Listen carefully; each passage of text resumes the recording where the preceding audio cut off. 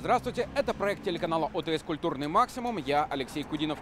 Начну, пожалуй, с главной новости этой недели. Наш регион получит четверть миллиарда рублей на создание новой площадки для театра Афанасьева. Деньги придут по нацпроекту «Культура». 50 миллионов из федерального бюджета выделят уже в этом году, 200 миллионов в следующем.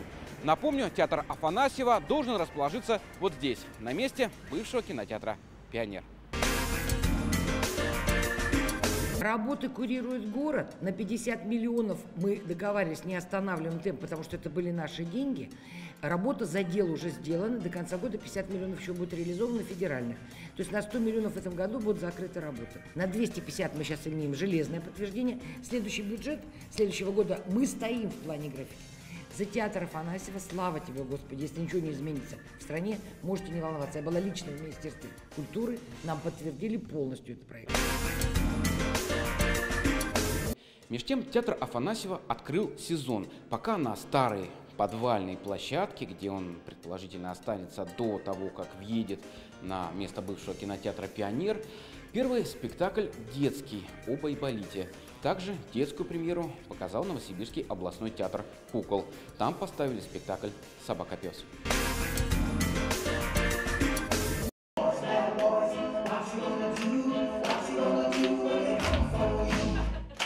Чарующие звуки ямайского регги или группа «Кармен» — это юность родителей сегодняшних первоклашек. Ностальгические чувства старшей части публики всколыхнет и большая ролевая игра, которую затеяли герои спектакля. Сказочные мальчишки и девчонки разбирают себе персонажей Айболита, приносят из дома реквизит и начинают вживаться в роли. Современные дети гораздо лучше разбираются в онлайн-играх. Дети сейчас очень часто много сидят в гаджетах, э, телефонах, телевизорах, компьютерах.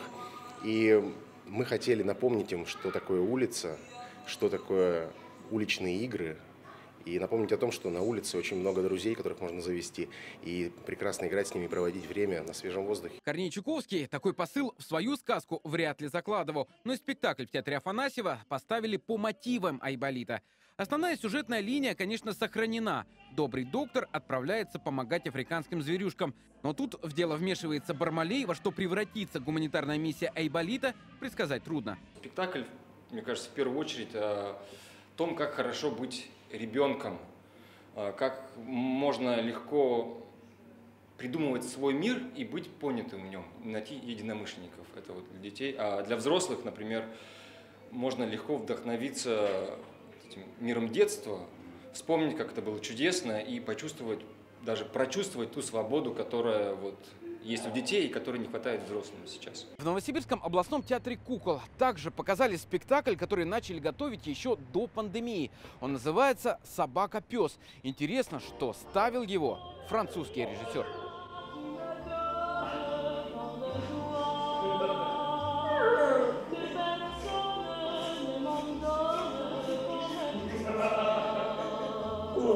В этом спектакле другой саундтрек, но тема та же – как хорошо иметь друзей. Правда, это не только радость, но и ответственность. Режиссер Ролан Банин сделал спектакль по повести французского писателя Даниэля Пинака. Это э, и для детей, и для взрослых. Считаем, что как будто детей нужно тоже, можно с ним пообщаться на равни. Э, есть вещи, которые нужно им показать, нужно видеть. Это, ну, это все на, на, понятно им. Вот. Ну, конечно, это очень трогает тоже и, и взрослых. Спектакль получился серьезным, даже остро-социальным. Зрители следят за жизнью бродячего пса, юность которого прошла на свалке.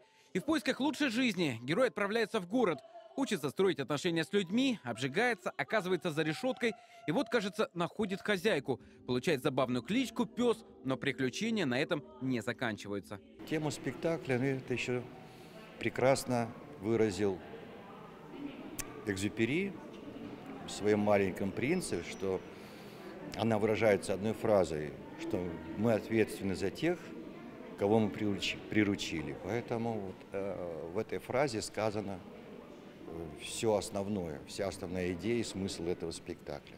Добавлю, что массовые мероприятия с участием детей в регионе все еще запрещены, и на эти спектакли нельзя, да и не нужно отправляться классами. Гораздо лучше сходить семьей. В обоих случаях после просмотра есть что обсудить дома.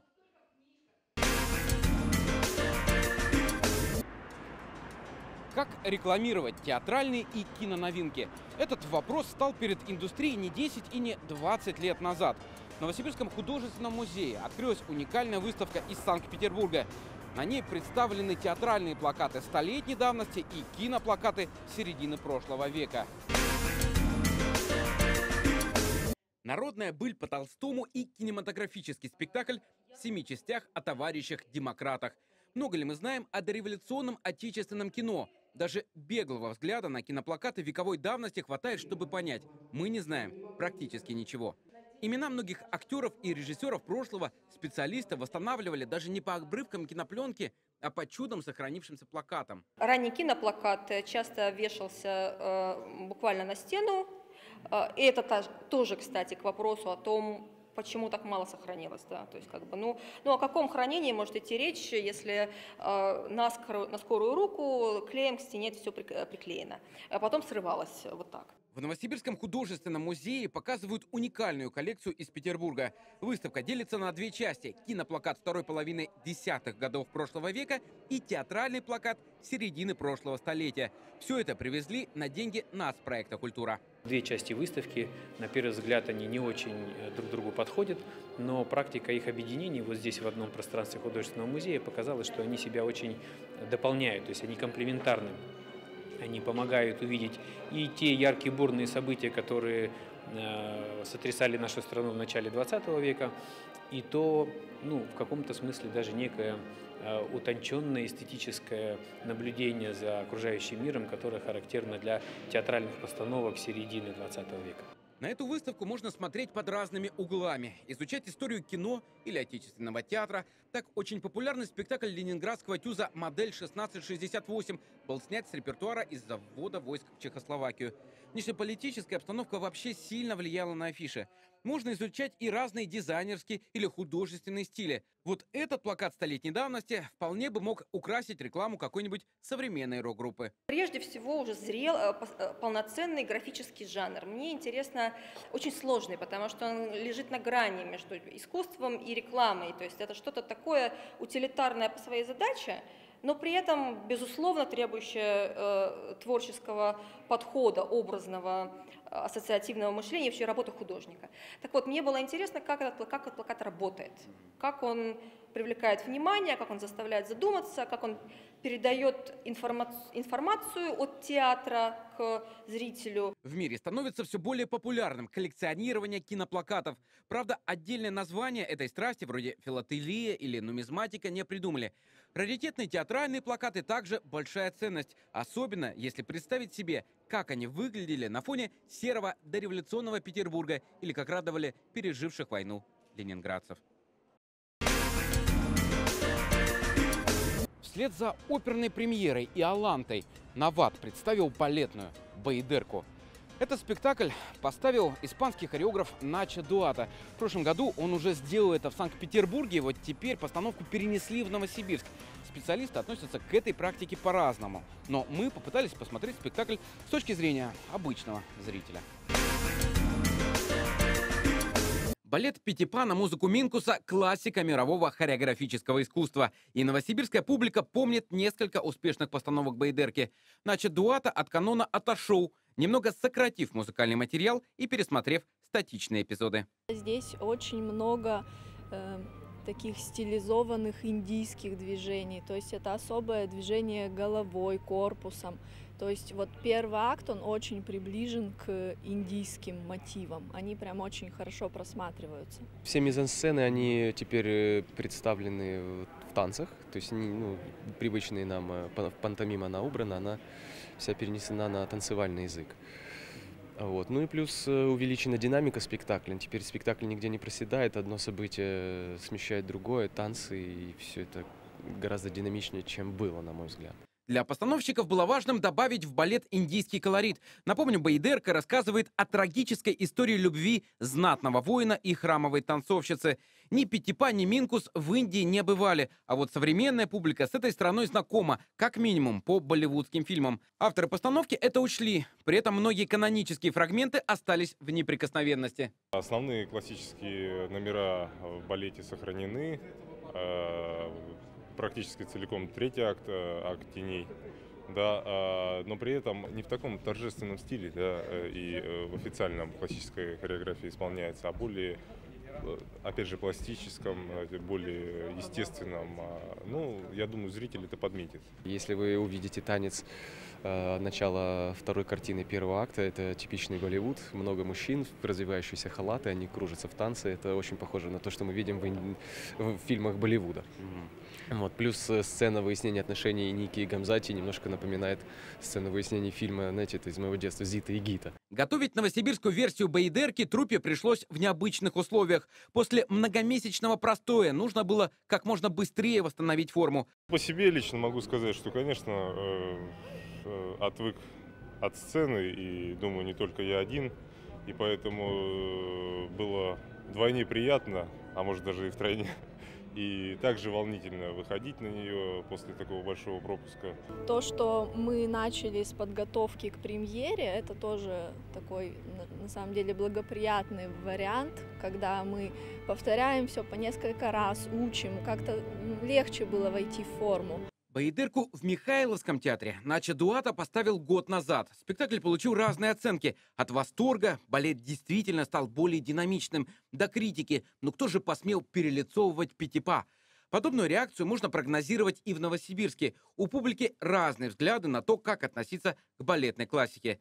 Лично я с удовольствием смотрю на то, как современные хореографы дискутируют со своими великими предшественниками. Все-таки театр — это не музей. Новосибирске широко отметили День музыки. 1 октября концерты прошли в самых разных местах. В фойе госучреждений, в метро, в аэропорту. И сотни или даже тысячи жителей города узнали о самом существовании такого праздника.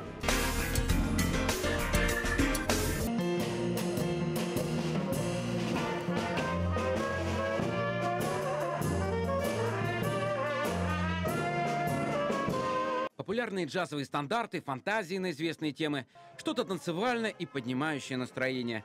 Джаз-оркестр «Сибирский Диксиленд» играет не только в филармонических залах, улицы европейских городов или переходы метро. Везде найдутся любители такой музыки. Наш первый концерт был э, в 1988 году именно здесь, в метро. То есть коллектив открылся в метро. Ну а сегодня мы решили, поскольку здесь много публики, немножко привлечь, немножко рассказать, э, позвать к себе на концерт, ну не только к себе, не только к нашему коллективу, а вообще филармонию. Мы должны расширять э, круг наших посетителей, зрителей. Международный день музыки как раз и придумали для распространения этого искусства во всех слоях общества. Праздник не молод. Его установили по инициативе Международного музыкального совета при ЮНЕСКО в середине 70-х. Отмечать можно по-разному. 1 октября интернет-сообщества и чаты, в которых состоят музыканты, пестрят тематическими открытками. А профессиональные и любительские коллективы дают бесплатные концерты. В этот раз День музыки отметили и в областном центре, и в районах.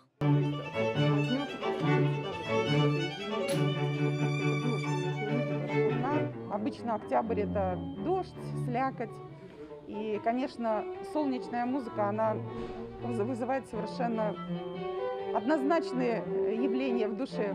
Это солнышко. В Новосибирской филармонии ко Дню музыки приурочили презентацию нового арт-пространства. Под него отвели помещение буфета камерного зала. Организаторы постарались, чтобы здесь было интересно детям и подросткам. В этом помещении, которое мы э, оно еще не имеет названия, арт-пространство это, так сказать, общее название, может оно останется, я не знаю, так сказать, может будет какое-то другое. У нас есть несколько э, проектов, которые мы надеемся вот в конце октября, в начале ноября уже воплотить, ну, скажем, выступления наших музыкантов э, профессиональных, которые обладают, кроме того, что они обладают мастерством, обладают уникальными коллекциями музыкальных инструментов. Могут быть чисто э, литературно-музыкальные вещи. Мы надеемся, что придут дизайнеры, театроведы или актеры, художники, что была очень пестрая, так сказать, в хорошем отношении э, вещь. Но еще должен сказать, что День музыки – это замечательный праздник, но для нас, профессионалов, Э, каждый рабочий день – это день музыки. И это все на сегодня. В следующей программе поговорим о новосибирских авторов, которые открыли свои выставки в Москве и Санкт-Петербурге, а также попробуем прогуляться по закоулкам одного из новосибирских театров.